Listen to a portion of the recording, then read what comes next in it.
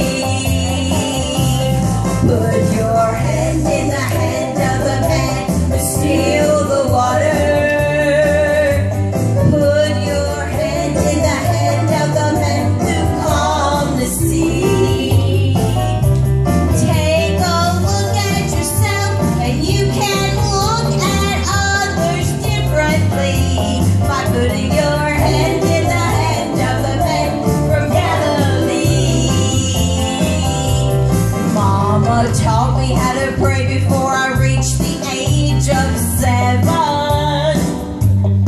And when I'm down on my knees, that's when I'm close to heaven. Granddaddy lived his life with kids and a wife.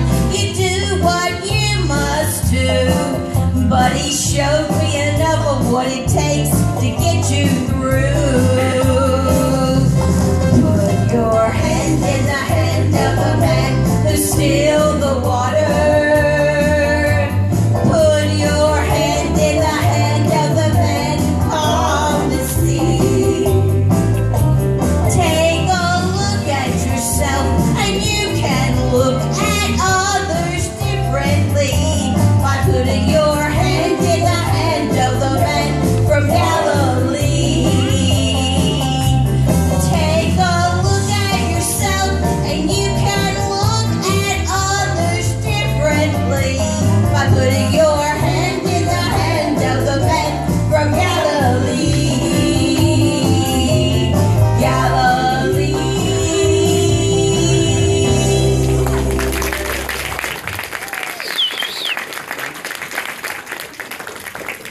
David, I want to say I got a good, true blessing today.